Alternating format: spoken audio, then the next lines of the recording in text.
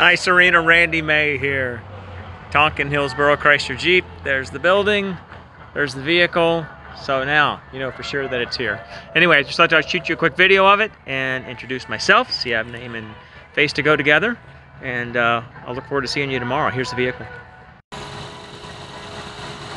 It's actually really super nice. Condition's really nice in it. I didn't see any real issues anywhere. I didn't see scratches, scuffs. Tires are good. Wheels look good. So anyway, yeah, really nice, really nice vehicle. This collar could be very, very important. Inside, really nice. Huh, huh, he Other than the fact that it's not new, it doesn't uh, doesn't look any different than new. Sometimes use a red collar or two.